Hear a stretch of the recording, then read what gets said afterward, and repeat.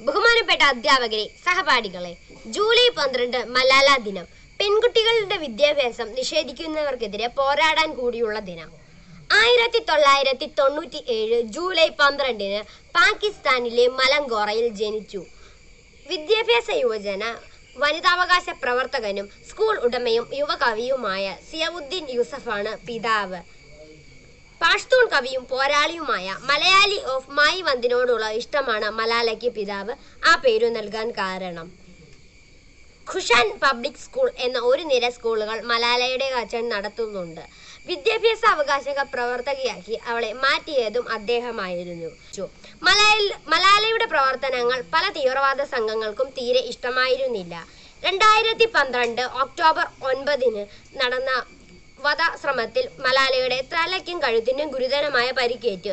School വിട്ട് വീട്ടിലേക്ക് വരുന്ന വഴിയായിരുന്നു ആക്രമണം.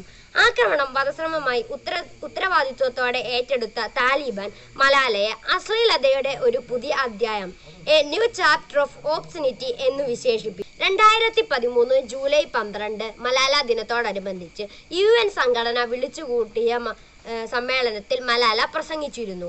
ഒരു കുട്ടിക്കും ഒരു അധ്യാപകനും ഒരു പുസ്തകത്തിനും ഒരു പേനയ്ക്കും ലോകത്തെ മാറ്റാനാവും എന്ന് മലാല ഐക്യരാഷ്ട്രസഭയിൽ പ്രസംഗിച്ചു. രണ്ടായിരത്തി പതിനാലിലെ സമാധാനത്തിനുള്ള നോബൽ സമ്മാനം ലഭിച്ച മലാല ഏറ്റവും പ്രായം കുറഞ്ഞ നോബൽ സമ്മാന ജേതാവാണ്. രണ്ടായിരത്തി പതിനൊന്നിലെ കുട്ടികൾക്കുള്ള അന്താരാഷ്ട്ര ശാന്തി സമ്മാനം പാകിസ്ഥാനിലെ ദേശീയ ശാന്തി സമ്മാനം തുടങ്ങി ഒട്ടേറെ പുരസ്കാരങ്ങൾ മലാലയെ തേടിയെത്തി. പെൺകുട്ടികളുടെ വിദ്യാഭ്യാസത്തിനും ഉന്നമനത്തിനും വേണ്ടി പ്രവർത്തിക്കുന്ന മലാലയ്ക്ക് ഓരായിരം ആശംസകൾ. നന്ദി നമസ്കാരം.